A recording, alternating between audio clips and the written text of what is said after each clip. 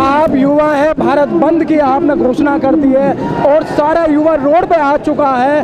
तो आपकी क्या मांगे हैं? मांगे हमारी सब कुछ सही है, जो अच्छी मांगे हैं। कोई संविधान जो चेंज कर रहे हैं संविधान चेंज नहीं होना चाहिए।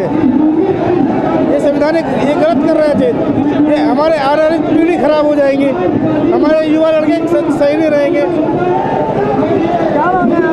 हमारी मांग है, जो बाबा साहब का, जो संविधान में दलितों के प्रति, और ये देश, ये भारत, ये बाबा साहब का सपना है जिसनो जिन्होंने भारत सरकार के लिए संविधान बनाया है, और दलितों के लिए जितना शिक्षा का और पानी का जो अधिकार दिलाया बाबा साहब, उनको संपन्न कर दे। ये सरकार जो अधिकार दलितों के दबाए पड़े हैं, संविधान में देखते नहीं है। उस संविधान को देखकर साहब के सपनों को साकार करने का काम करे।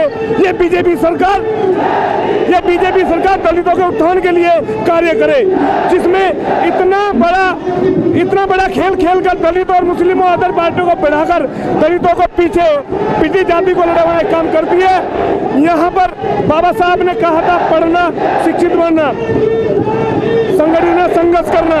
ये काम बाबा साहब का अगर मोदी जी हैं तो बाबा साहब के संविधान में जो बाबा साहब ने लिख गए थे, ये लिख गए थे, जिस दिन मेरा समाज पढ़ लेगा उस दिन जाग जाएगा। आज हम जागे हुए हैं, हमारा अधिकार, हमारी हमारी शिक्षा हमें दे दीजिए मोदी जी।